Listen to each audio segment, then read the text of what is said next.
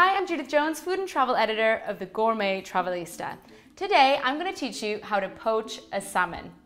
Now, poaching is a much healthier way of cooking salmon. Uh, it's much better than sauteing or baking, primarily because we're not putting a lot of butter and olive oil onto it. So first of all, we're gonna get uh, a deep dish frying pan and fill it up with cold water. We're gonna get uh, about a three to four ounce filet of salmon, skin on. I like to keep the skin on when poaching, just because it keeps the salmon together and it doesn't uh, flake so easily.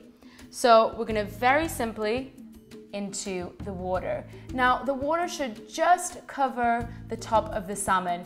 You don't need to drown the salmon and you don't need it too uh, empty. So it's just about there on the top. In fact, that's perfect.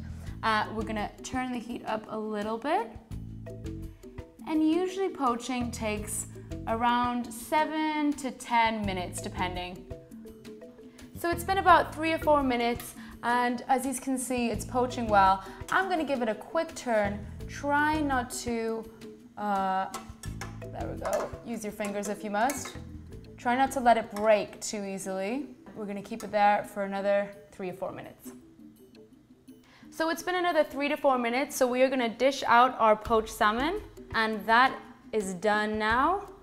We'll put it on the plate right there. Should be a nice light pink color when you poach it. And inside, I like it a little bit raw, so we can flake it like this, and it's beautiful. And you can season your poached salmon how you like. That's how you make a poached salmon.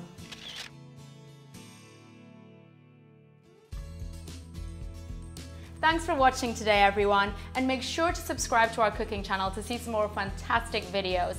And if you have any requests for recipes to be made, or if you have any questions, you can email us at requests at mahalo.com.